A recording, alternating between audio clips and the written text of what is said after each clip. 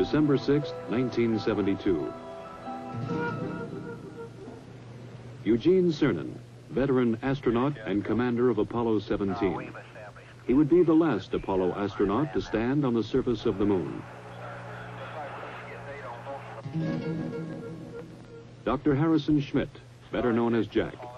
He would be the first geologist to set foot on an alien world.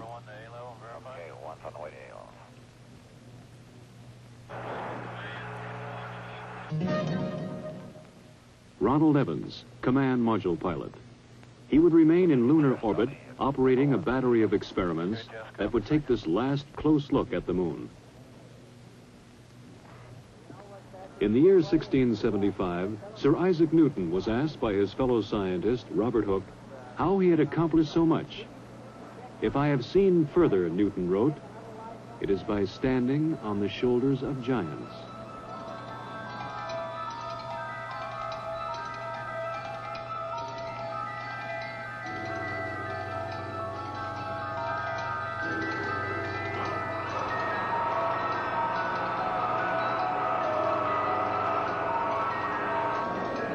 Stage propellant tanks have been pressurized.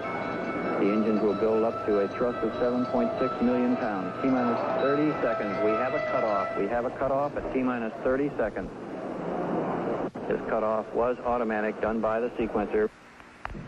One command, pressurized the S4B stage, was not given. And despite the fact that it was going to be done manually, the sequencer, in effect, said, uh, I didn't tell you to do it, and therefore you can't be doing it. So at 30 seconds, it very properly stopped the operation. Uh, most of the work was being done right off the firing room in the Launch Control Center at Kennedy.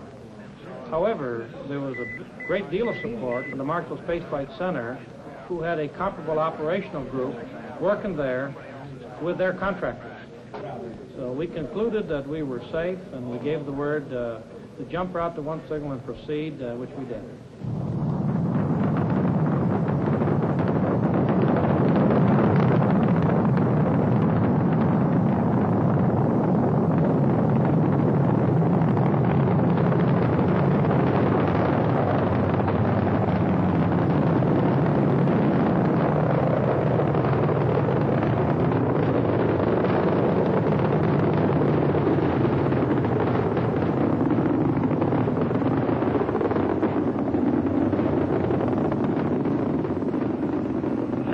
Houston, you are go for orbit. Go for orbit. Those are kind words, Robert. We're go for orbit here.